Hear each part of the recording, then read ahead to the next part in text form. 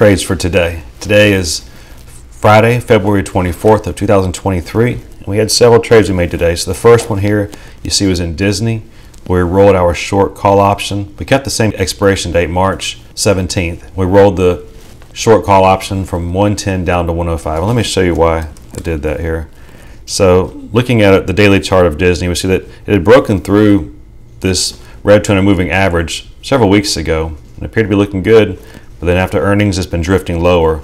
And now today, it broke below the green 50 exponential moving average here, was around 102. But it also broke below this support right here, this previous high from back in November, several times in November and then in December. This has served as resistance for it. And remember, resistance once broken tends to turn to support, which you saw happen here. It tested for resistance again. It finally pushed through it. Well, today it broke through that support. So because that, I felt comfortable rolling this 110 strike price down to 105. Consider rolling it lower, but for now, we'll just stick with 105. And we're only three weeks until expiration. We can adjust it then. So the next trade we did was kind of a similar trade. We rolled the CCI March 17th 140 call down to 130. So let me show you why I did that. So here again, we see that CCI it broke through an area that served as support for it back here in December, towards the end of December. See the low was right at this line here, 130 and 87 cents. And today CCI broke through it. It did it on pretty good volume. See, it was a pretty high volume, red red volume bar there. So on high volume, it's not looking very good. So I decided to roll that strike price down to actually in the money a little bit, just to give us a little more room. It looks like CCI will probably try and find support next around 127 or so. Of course, anything can happen, but that's odds are we'll look to find support next. So again, we're only three weeks out. We didn't roll the expiration date out. We just rolled the strike price down, and we'll adjust it again within the next three weeks. The next one is our final adding cash secure puts to our Walgreens position.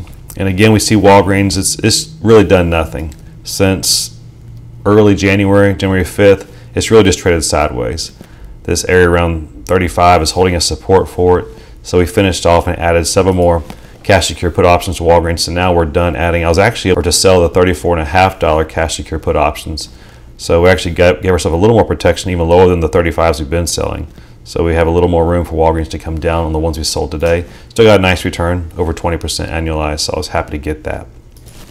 And finally, our Tyson chicken, ticker symbol TSN. Tyson's kind of like Walgreens in that it hasn't been trading as long around this area, right above 60. But we do see that it, it found support here back in December. And now it advanced and now it's returned back to support. And it's holding. It was a nice down, nice strong down day today when we actually placed this trade. Towards the end of the day, it kind of drifted up. But overall, it's still finding support around 60. And so I felt comfortable adding to this cash secure put option in Tyson. Again, we see here that just seems like a lot of buyers are coming in and buying it right around 60. So of course, anything can happen. If it pushes through there, then we're liable to have a pretty decent drop. It's like the next area of support will be all the way down here around 55. So it'd be about a, almost a 10% drop if it busts through this support. But for now, it's holding it, and, and we'll look to add to it if the return stays sufficient. And it looks like it will continue finding support. So that's all of our trades for today. I hope you have a great weekend.